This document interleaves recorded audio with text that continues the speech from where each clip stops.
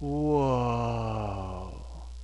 Your brain candy movie make my head hurt. It make me think. Whoa. Yes, I believe cats can see things. Like they can see vampires and demons. Oh wait, is that just in the movies? No, sometimes movies are kind of true.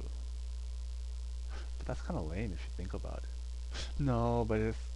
No. I'm sure cats can see like... Uh, wow, your brain candy really hurt my brain. Great video by the way. Good job.